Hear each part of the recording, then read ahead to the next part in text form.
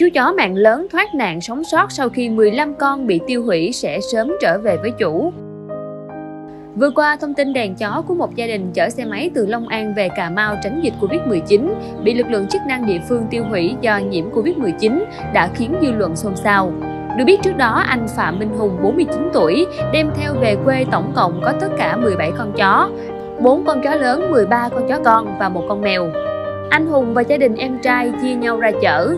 Tuy nhiên trên hành trình về Cà Mau thì gia đình anh Hùng đã cho hai con chó con, một con đem cho đội tình nguyện, một con cho một người dân khác dọc đường đi. Việc đàn chó bị tiêu hủy khiến nhiều người thương xót, tiếc nuối. Số khác cũng bày tỏ sự quan tâm đến tình hình hiện tại của đôi vợ chồng, cũng như số phận của hai chú chó may mắn đã thoát nạn. Chia sẻ với chúng tôi, anh Lê Dương Thanh, sinh năm 1994, tình nguyện viên hỗ trợ bà con hồi hương tại khu vực Tân An, Long An cho biết, anh và đội hiện tại đang chăm sóc bé chó sinh được từ đôi vợ chồng. Anh Thanh cũng rất buồn, bày tỏ sự đáng tiếc khi biết tin đàn chó của vợ chồng anh Hùng đã bị tiêu hủy. Hôm rồi vợ chồng anh Hùng ghé ngang thì đội cho bánh cơm với sữa. Thấy đàn chó dễ thương quá nên mình xin phép anh được quay lại clip.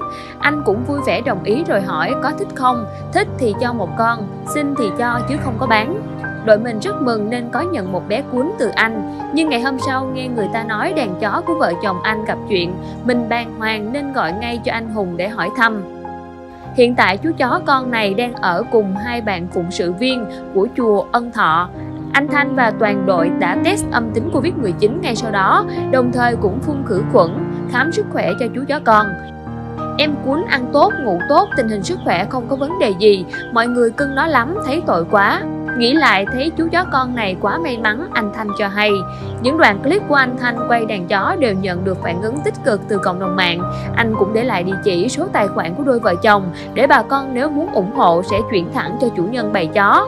Nhiều cư dân mạng cũng bình luận mong anh Thanh sẽ chăm sóc tốt cho chú chó còn lại. Mình gọi anh Hùng bảo anh nếu có dịp về lại Long An thì sẽ trao trả lại cho anh chị. Bé chó này sẽ an ủi chút phần nào cho những mất mát của anh chị đã trải qua. Chắc chắn đội mình sẽ gắn nuôi chú cuốn thật khỏe mạnh, anh Thanh nghẹn ngào. Dân mạng đã để lại nhiều bình luận dưới bài chia sẻ thông tin về chú chó may mắn này.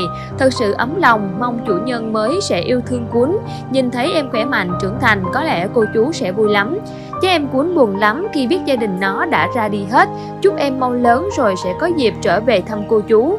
Mình theo dõi hành trình về quê của cả gia đình họ, rồi xem clip họ về đến nơi an toàn. Những chú chó chạy nhảy vui vẻ dễ thương biết bao. Hai em chó thật may mắn và còn may hơn khi vào tay một người chủ tốt. Cảm ơn các bạn đã quan tâm theo dõi. Đừng quên đăng ký kênh Tin 3 Phút để cập nhật tin tức nóng hổi mỗi ngày.